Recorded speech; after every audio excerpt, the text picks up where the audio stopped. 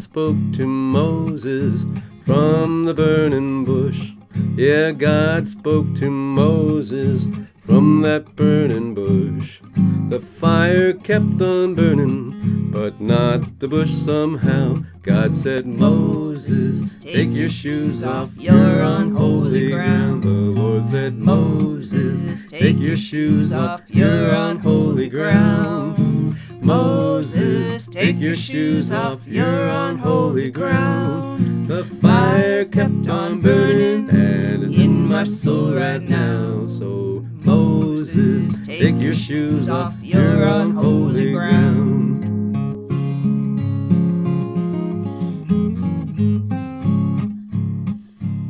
God's people were in bondage with no one to bring them out. So God called on Moses to turn their lives about. Moses went up on the mountain. When he turned and looked around, God said, Moses, take your shoes off, you're on holy ground. The Lord said, Moses, take your shoes off, you're on holy ground. Moses, take your shoes off, you're on holy ground. That fire kept on burning, and it's in my soul right now. So, Moses, take your shoes off, you're on holy ground.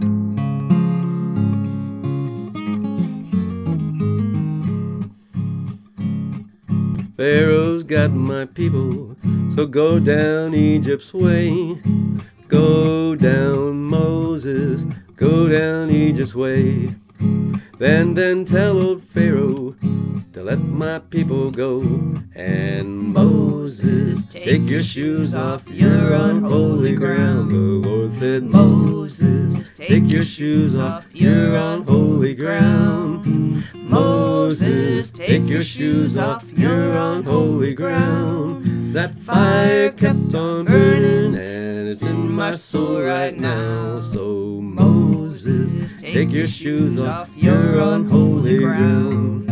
Moses, take your shoes off, you're on holy ground.